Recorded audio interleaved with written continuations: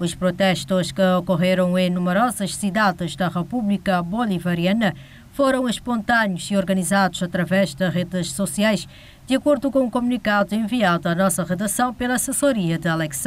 Os manifestantes, como explica a mesma fonte, reagiam às declarações feitas pelo primeiro-ministro cabo-verdiano no Parlamento, quando considerou que a polícia cabo-verdiana agiu bem ao prender o representante de Caracas durante uma escala técnica do seu avião na Ilha do Sal. Ainda os manifestantes dizem que o que está a acontecer, Alex sabe, tem motivação política desenvolvida pelos Estados Unidos contra a Venezuela e pedem a Cabo Verde para não apenas respeitar a imunidade do seu embaixador, como também a sua libertação imediata. De referir que o empresário colombiano e enviado especial da Venezuela estava em prisão preventiva desde junho na cadeia do Sal e no dia 25 de janeiro deste ano, por decisão do tribunal, após esgotar o prazo legal para sua detenção, foi colocado em prisão domiciliária.